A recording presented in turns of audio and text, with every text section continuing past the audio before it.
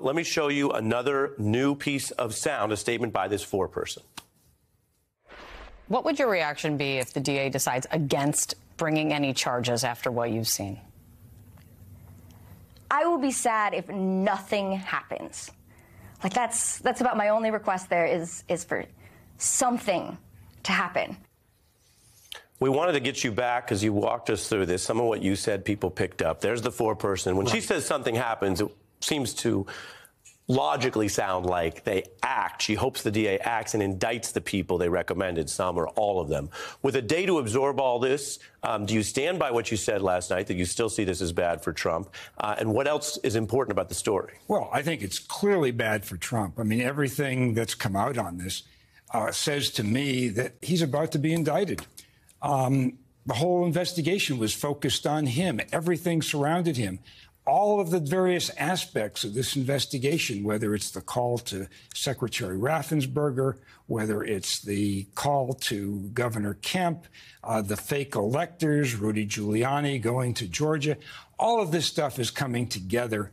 Um, and I think what this reflects is, is that there is a recommendation, which we knew about before this forelady even came out, that there would be people indicted and if people were going to be indicted, I think it was pretty obvious that the capo de tutti capo would be going down with the crew. I mean, I just don't see yeah. how you can bring an indictment without Trump. I, I think you make a fair point that the grand jury's view is that 10 plus people should be indicted. And so that looks like a multi prong multi-person conspiracy, and then that goes up to does the beneficiary get included, as you put it. Right. Um, then you have what I mentioned, this interview with NBC's Blayne Alexander, and the way that this foreperson, you know, people could talk how they want. It's rare right. to hear them, but that at times almost sounds excited. Oh, this was so awesome and cool. Take a take a listen.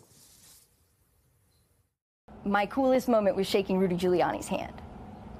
That was really cool for me.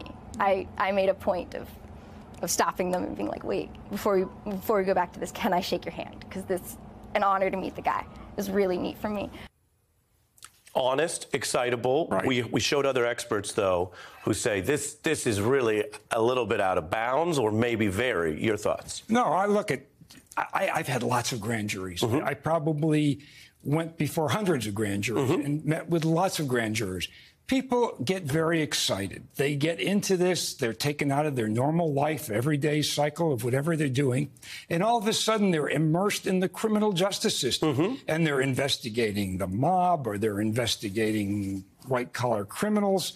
Uh, and people take this to heart. They take it very seriously. Let me press and, you on that. Is it possible then you see a bit of a, what we might call an elite bias? Those of us who might be accustomed to some of this because of professional lives and otherwise um, have some sort of surprise or disdain, some people, at the fact that what you're saying is you've seen this in other grand jurors, that the emotional response is, whoa.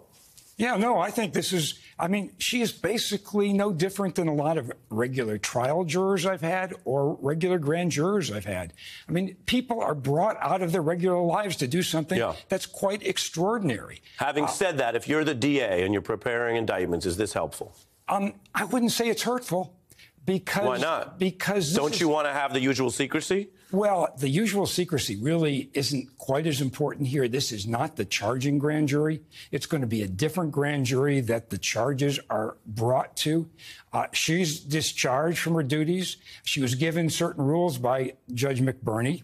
Uh, Do you see any evidence she's broken those rules? Um, you know, kind of a little bit by rolling her eyes with the Atlanta Journal Constitution. Yeah, that she, that she, may have, exa- you know, she may have used communication to convey that which she wasn't supposed to what say. What she wasn't supposed to say, which is somewhat lawyerly. Um, yeah, but again, we're, we're talking about regular people that are taken out of their yeah. normal situations and, and are suddenly put in extraordinary circumstances. So your legal colleagues who are dinging her uh, yes or no are are being too harsh on her? I think they're being way too harsh on her. Interesting. I mean, look, I think she has been put into an exceptional situation. True. And and citizens all the time are asked to perform this duty, and and they.